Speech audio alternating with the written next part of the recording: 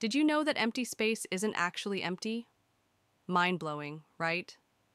In the quantum realm, what we consider nothing is actually a bustling metropolis of virtual particles, popping in and out of existence faster than you can blink.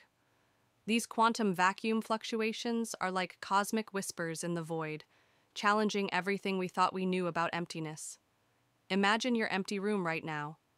It's actually filled with an invisible dance of particles, borrowing energy from the universe itself. This isn't science fiction. It's the bizarre reality of quantum physics. These virtual particles affect everything from the light we see to the very structure of our universe. They're the reason black holes actually glow, and they might even hold the key to understanding the fabric of reality itself. Want to dive deeper into this quantum mystery? Follow us for more mind bending revelations about our universe's hidden secrets.